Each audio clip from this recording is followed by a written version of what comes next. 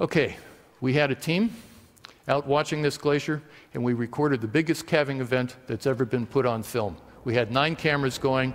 This is what a couple of the cameras saw 400 foot tall calving face breaking off, huge icebergs rolling over.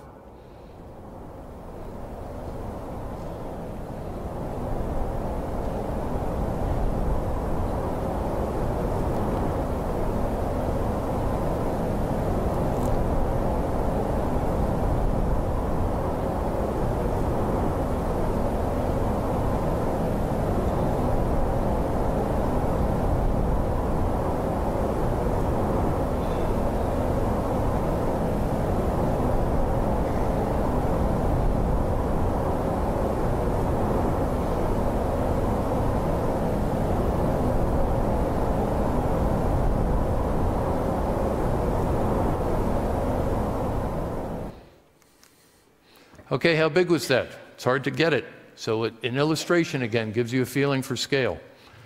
A mile of retreat in 75 minutes across a calving face in that particular event, three miles wide.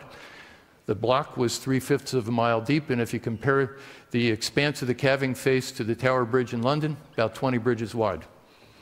Or if you take an American reference to the US Capitol building, and you pack 3,000 Capitol buildings into that block, it would be equivalent to how large that block was.